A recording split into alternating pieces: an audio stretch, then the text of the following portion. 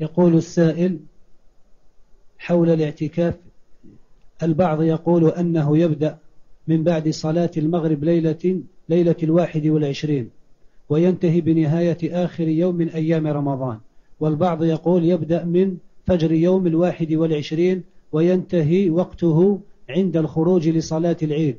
فما رأي سماحتكم؟ هذا ما هو صحيح الرأي الأخير ما هو صحيح صحيح أنه يبدأ بعد غروب الشمس الليلة الواحد والعشرين